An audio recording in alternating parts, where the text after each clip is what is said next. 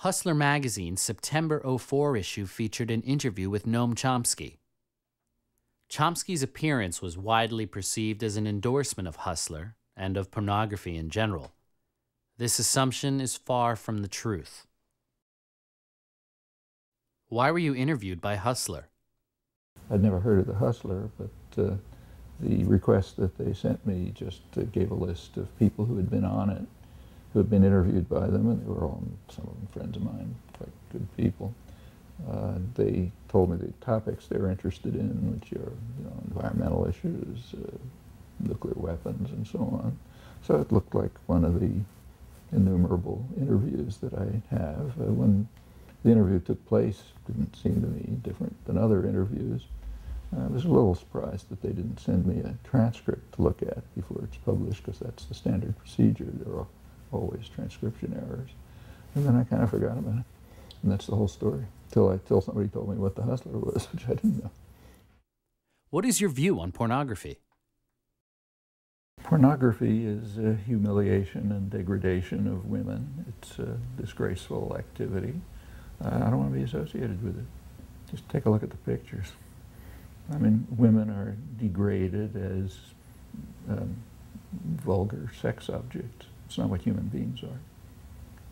I mean, I don't even see anything to discuss. But didn't porn performers choose to do the job and get paid? The fact that people uh, agree to it and are paid is about as convincing as the fact that we should be in favor of uh, sweatshops in uh, China, or uh, where uh, women are locked into a factory and uh, you know work 15 hours a day, and then the factory burns down and they all die. Yeah, they were paid and they consented, but doesn't make me in favor of it. so that argument we can't talk about. Uh, as to the fact that it's uh, some people's erotica, well, you know, that's their problem. Doesn't mean I have to contribute to it. If they get enjoyment out of humiliation of women, they have a problem. Uh, but uh, it's nothing I want to contribute to. How should we improve the production conditions of pornography? By eliminating degradation of women. That would improve it. Uh, just like child abuse. Uh, you don't want to make it better child abuse. you want to stop child abuse.